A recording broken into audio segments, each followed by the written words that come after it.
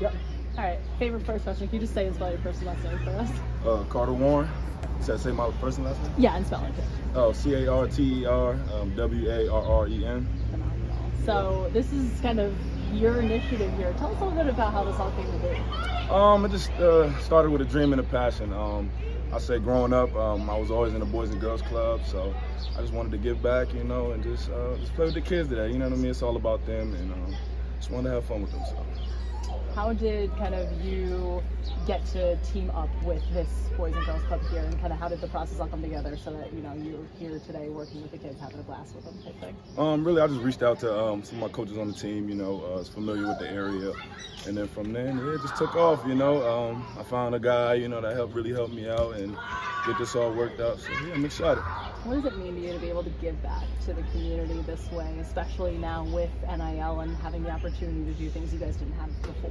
Definitely, it's an amazing feeling. Um, you know, uh, I'm excited to be out here once again. I'm excited to be out here, but um, it means a lot to me. Um, growing up, you know, um, living in Paterson, New Jersey, you know, it's not much around. Um, it's a tough area, you know, but um, the Boys and Girls Club, that was a safe haven for a lot of people, you know, so I just wanted to give back and be out here today with, with the kids. So I'm excited.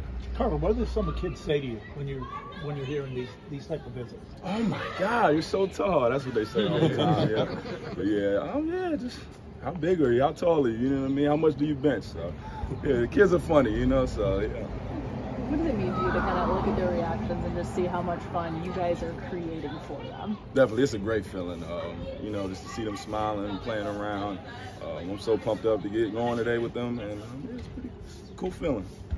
Carter, you're just one guy, but how did you get your, your four buddies here to go along with something like this? I asked them, man. You know, they they my best friends. You know what I mean? And um, I wanted to have them here with me. You know, it's a team a team event. You know, even though my name's on the shirt, it's a team event. So I just wanted them to be a part of it. It's, it's important for an offensive line to stay together for, for 12 games through the season, but it's also important for guys to stay together off the field. Do you guys do a lot of stuff off the field besides what you're doing today? You any of them. We do everything together. You know what I mean? We're a tight knit group. Um, that's why we have a lot of success on the field.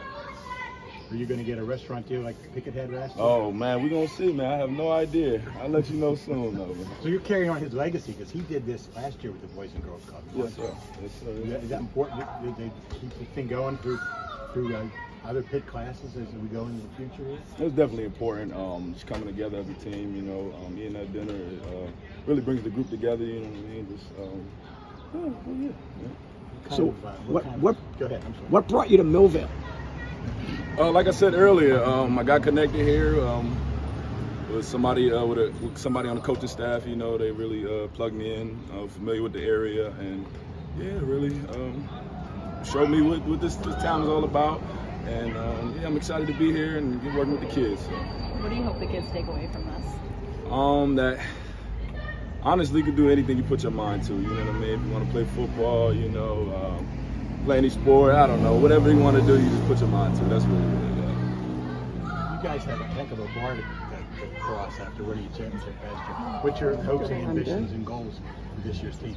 Uh, we're gonna have a great season. That's it, man. Um, right now, I really want to focus on the kids right now, but um, there's big things coming for uh, Pitt football this year. Definitely.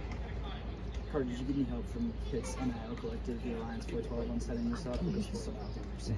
It was solely through Samuel. I did not get no help from him. Good. Okay, who's right. next?